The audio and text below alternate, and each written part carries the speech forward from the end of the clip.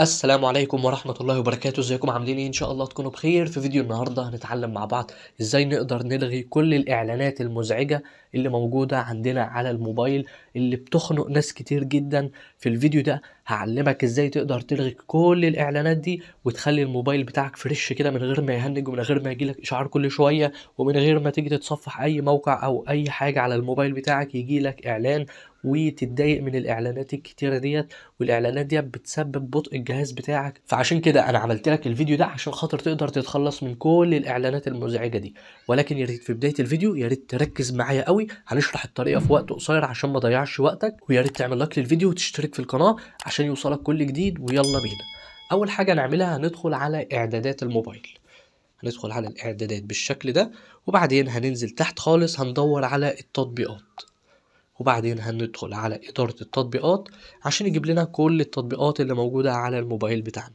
أول حاجة هتعملها إنك هتمسكهم تطبيق ورا تطبيق. هتبدأ تبص تشوف إيه التطبيق اللي أنت شاكك فيه أو التطبيق اللي هو ملوش لازمة على الموبايل وهنبدأ نحذفه.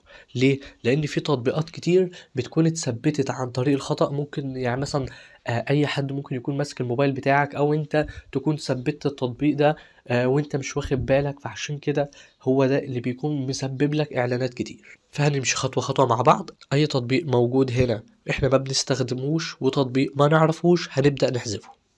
وآدي أول تطبيق قصادنا يا شباب هو تطبيق Clean Up Your Phone التطبيق ده من التطبيقات اللي هي بتعرض إعلانات كتير واللي هو بيوهمك إن هو بينظف الموبايل بتاعك ويخليه سريع. أما بالنسبة للبرامج ديت مفيش برنامج واحد فيهم بس بيعمل الكلام اللي هم بيوهموك بيه ده.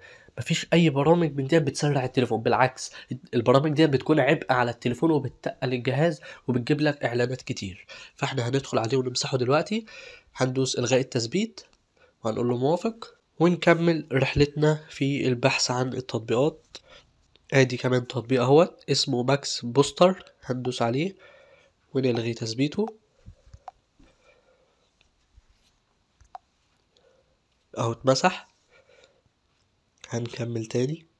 وأدي تطبيق كمان أهوت Phone Cleaner هندخل عليه نلغي تثبيته. طيب تمام. دلوقتي تطبيق ال SHAREit يا شباب ناس كتير برضو بتقعد تشتكي منه إن هو بيجيب إشعارات كتير وبالفعل هو بيجيب لنا إشعارات كتير وبتقل الجهاز وحتى الإشعارات اللي بتجيلنا بيكون حتى فيها صور مش كويسة. فإحنا عايزين نرتاح من الموضوع دوت وما يجيلناش أي إشعار تاني من الشرقة. ولكن إحنا مش عايزين نلغي تثبيته عشان خاطر إحنا بنستخدمه. فإحنا هندخل عليه مع بعض دلوقتي وبعدين هندخل على إدارة التنبيهات. هنلاقي هنا السماح بالإشعارات هتلاقيها مفعلة.